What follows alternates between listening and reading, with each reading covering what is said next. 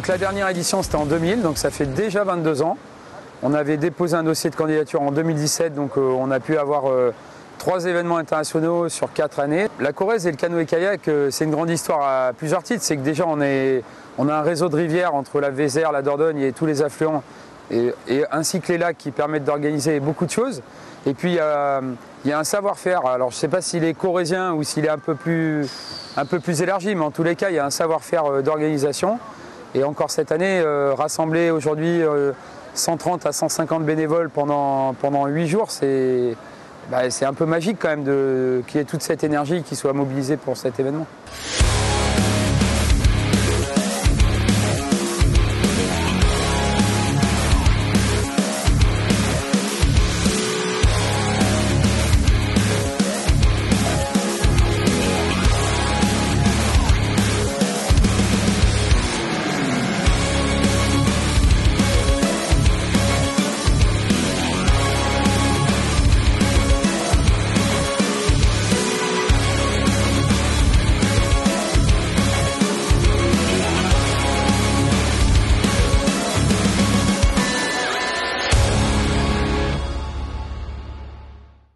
20 nations, 190 bateaux au total, des, des podiums euh, entre le premier et le deuxième qui jouent à 3 ou 5 centièmes donc, euh, sur le sprint.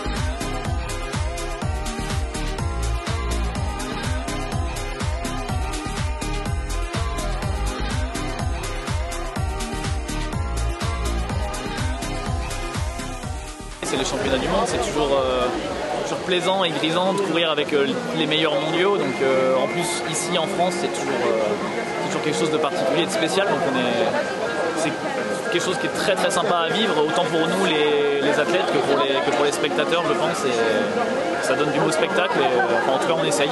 Le championnat il marche très bien, pas de soucis à niveau d'organisation, d'opérationnel. Donc de la partie de la Fédération internationale, on est vraiment très content de l'organisation ici à Trignac. Le fait de joindre la nature et la compétition d'un niveau, ça nous amène sur un autre espace. Nous, normalement, sur nos compétitions euh, plus euh, pointues, on va dire, les, les compétitions olympiques, on est vraiment sur des bassins artificiels. Et revenir à la nature, pour nous, c'est très important parce que c'est où on a commencé. Donc, euh, en plus, venir à Trignac, qu'en 59, il a fait son premier championnat du monde en 2000 et maintenant une autre fois, euh, c'est quand même énorme. Donc, euh, bravo pour Trignac. ouais. 5, 4, 3, 2, 1, go!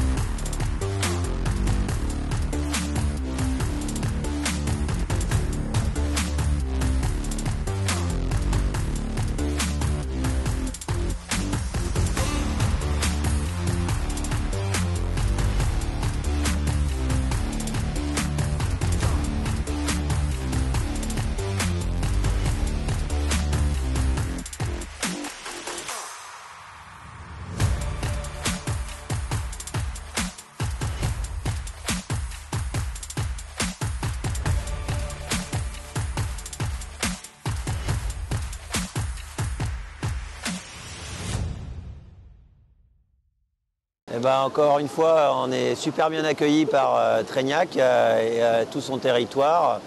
Cette compétition euh, va bientôt toucher à sa fin. France venait ici pour défendre son rang de première nation mondiale.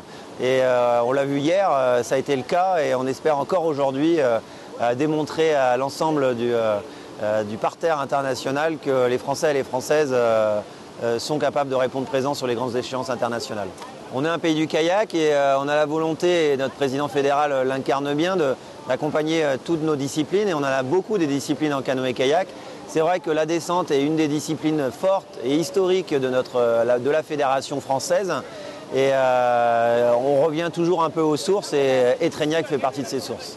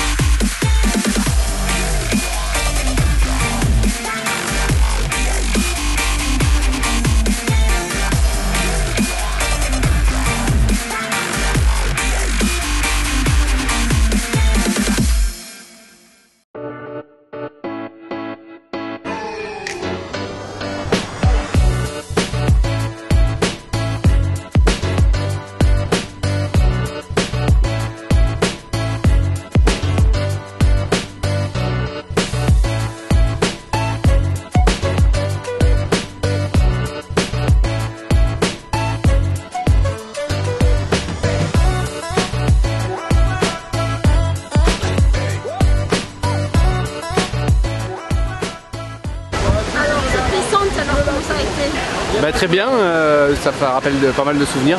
J'ai eu du mal à me, à me rappeler des passes, mais, mais c'est revenu quand même. C'est agréable. C'est une belle descente. L'événement de l'organisation, en fait, vous trouvez ça comment euh Bah, en, France, on sait bien faire les choses. Je pense qu'on a, on est un peu à le benchmark de l'organisation euh, pour les championnats du monde, que ce soit en slalom, en descente. Euh, Je pense que, à mon avis, les nations étrangères sont contents d'arriver là.